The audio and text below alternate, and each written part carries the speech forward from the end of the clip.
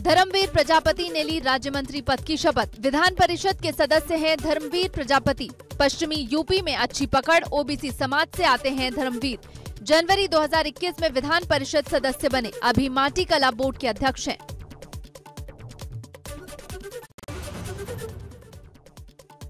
संजीव कुमार गौड़ ने ली राज्य मंत्री पद की शपथ। ओबरा विधानसभा सीट से रिकॉर्ड मतों से जीत। 2008 में उन्होंने सक्रिय राजनीति में कदम रखा।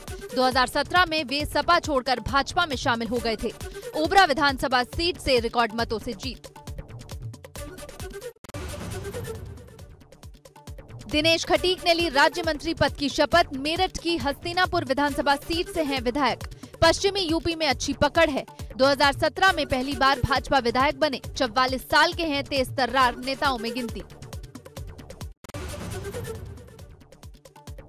शपथ लेने के बाद कैबिनेट मंत्री जितिन प्रसाद ने ट्वीट कर पार्टी आला कमान को धन्यवाद दिया। ट्वीट कर जताया आभार। मंत्रिमंडल में शामिल हुए सभी नए सदस्यों को मुख्यमंत्री योगी आदित्यनाथ ने बधाई दी। ट्वीट कर कहा कि उत्तर प्रदेश मंत्रिमंडल में शामिल हुए सभी नए सदस्यों को हार्दिक बधाई।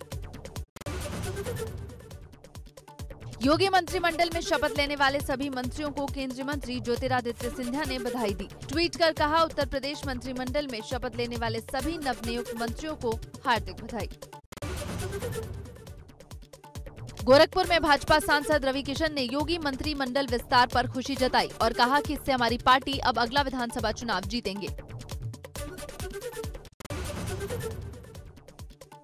योगी कैबिनेट विस्तार पर बोले अखिलेश यादव, चुनाव को देखते हुए जातिगत समीकरण साधने की कोशिश। इस विस्तार से भाजपा को चुनाव में कोई लाभ नहीं होगा।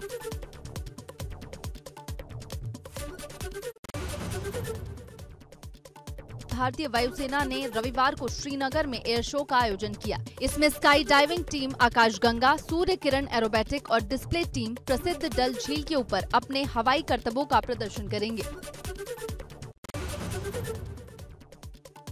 आज़ादी का अमृत महोत्सव समारोह के तहत एयर शो का आयोजन किया गया। एयर शो की theme give wings to your dream रखा गया था।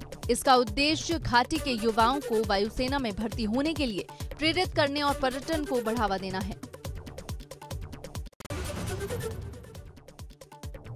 हापुड़ पुलिस की बदमाशों से मुठभेड़, पच्चीस हज़ार का इनामी बदमाश, गोली लगने से घायल। घायल बदमाश को अस्पताल लेकर गई पुलिस। हापुड़ नगर कोतवाली क्षेत्र के नगौला के जंगल में हुई मुठभेड़।